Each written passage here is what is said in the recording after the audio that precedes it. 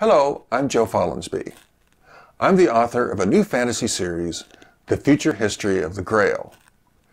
I'd like to read to you the first 1,000 words from Return to the Green Land, Book 3 of the series. The first book is titled Fall of the Green Land, and the second book is titled War for the Green Land. The books are set on Earth a thousand years in the future when a dozen giant machines keep climate change in check. However, one of the machines is failing, and a knight must find the lost grail to repair it. I've based the books on the King Arthur legends. The main characters are Sir Percival and his sister Dee. Book 3 starts with a new journey to find the Grail. I hope you enjoy this excerpt.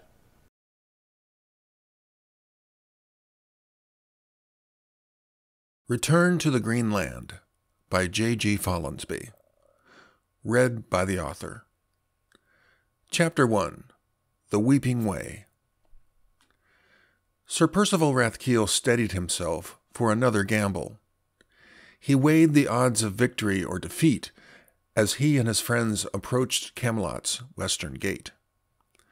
For the third time, he was leaving the city on a journey with a greater chance of failure than success. He didn't know if he or his companions would return. If he returned empty handed, his country would pass away. This was the final roll of the dice. The footfalls of his horse echoed in the half empty streets. Early morning sparrows flitted among piles of stone and broken lumber remaining from the Lucian occupation. He glanced over his shoulder, brushing away strands of his flaming red hair. Trailing him were retainers on horses leading pack animals heavy with supplies. Percival expected the expedition to take months. What's troubling you, Percival? Sir Galahad du Lac Corbinac rode beside him on a dapple gray destrier. Galahad's trademark white cloak flowed over the horse's rump. Have you forgotten something? I miss my sister, Dee. Percival's twin sister was back at the palace, probably working in the great audience hall, the place where King Arturus received important visitors and conducted public ceremonies. The king had asked Dee, short for Dindrain, to accompany Percival on the journey to Cassanti, a port city deep in the hot lands. At first she agreed, but a day later she asked him to come to the Dark Unicorn, a pub popular with students at Camelot University. I'm not going with you, Perce, she said this without meeting her brother's eye. Why not, Dee? I need you. How am I supposed to find the Grail without you? You can easily find the Grail without me. Galahad knows almost as much about the Grail as Merlin. He found the false Grail, Maybe it was useless, but he found it. Dee, I've been on two grailed quests. One to the eastern deserts, one to Coda. Both failed.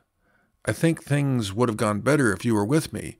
If I don't succeed this time, that's ridiculous. I'm no expert on the Grail or the Great Machine. When we came to Camelot, you went to university, I went to the keep. Until then, we did everything together at home on mother's property. We helped each other with chores, with homework. We'd comfort each other during storms. We even, well, killed our father together. Dee winced at the memory. I did it to save you and me. I'm not proud of it. How do you know I won't need you to save me again? You saved me at the Battle of the River's Bend. I'd say we're even. Family doesn't work like that. No one's keeping a tally. Dee shifted in her seat.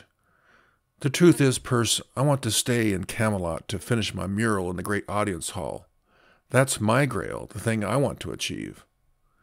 At first, it was just a job Mordred gave me, but now it's taken on a life of its own.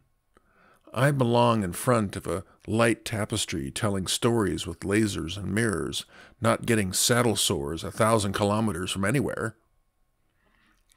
That ended the conversation. Percival was so angry and upset that he didn't speak to Dee for days. She never reached out to him. Maybe she was just as angry. Arturus could not order Dee to accompany Percival. Instead, the king asked Galahad to join the expedition. I know I'm a poor substitute for your sister, Percival, Galahad said on the street near the western gate. Behind Galahad on a strong pony rode 11 year old Penny Corbenek, though no one knew her true surname. Galahad found her wandering the streets of Perditon as he and Lancelot traced a Grail rumor. Now she was his page. Percival shook his head at Galahad, whom he'd got to know on the Grail quest to Coda. Galahad had a bright scar in his neck from the Battle of River's Bend. No, my friend, I'm glad you're here, and Penny as well. Percival waved and grinned at Penny, a pretty girl whom Galahad praised as clever and quick. She returned the smile with her own, the kind that had street knowledge behind it.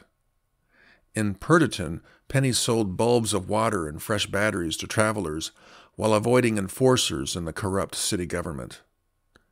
As a condition for joining the expedition, Galahad insisted Penny go along, but Percival thought she might attract trouble. Though he had a plan for reaching Cassanti, no one knew the hazards of the journey in detail.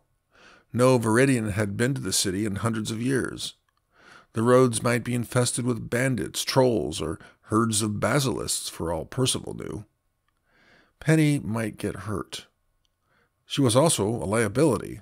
She would be an easy target for kidnappers or slavers reportedly operating between the border and Aurelia, the first major city on the peaceful sea south of Camelot. Percival planned to stop there before heading to Cassanti further on. On the streets of Camelot, a few people watched Percival's party, unimpressed.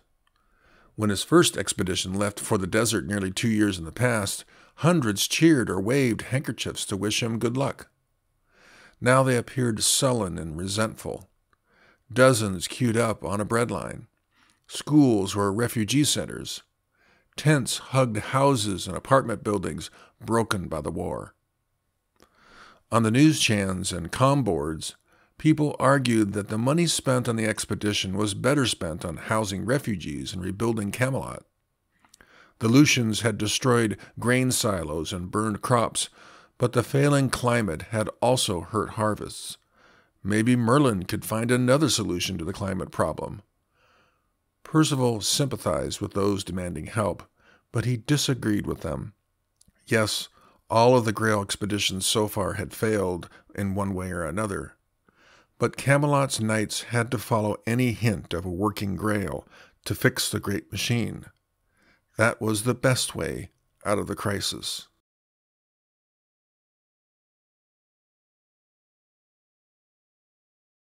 Thanks for listening to the first 1,000 words of Return to the Green Land, Book 3 of my fantasy series, The Future History of the Grail.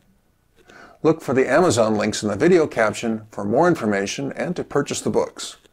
You can listen to me read excerpts from the other two books in this video series as well. Please let me know what you think, and please like, subscribe, and share this video. See you next time.